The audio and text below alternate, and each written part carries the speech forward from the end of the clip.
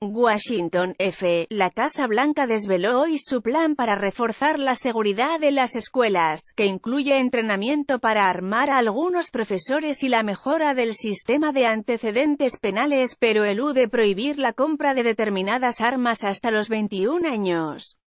La propuesta encarga la formación de una comisión federal para analizar soluciones encabezada por la secretaria de Educación, Betsy DeVos. Los profesores serán capacitados en el uso de armas y seguridad dentro de las escuelas.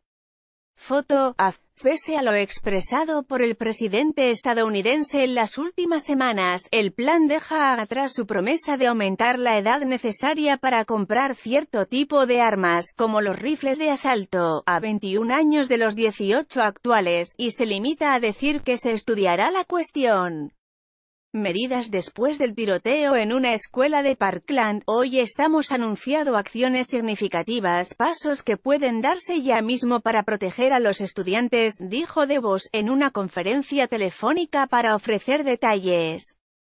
Devos calificó el plan como «pragmático». La propuesta de Trump encarga al Departamento de Justicia ayudar a los estados y autoridades locales a ofrecer un riguroso entrenamiento de armas para personal voluntario de las escuelas especialmente cualificado, sin embargo, no especifica una cifra determinada de fondos para financiar estos programas.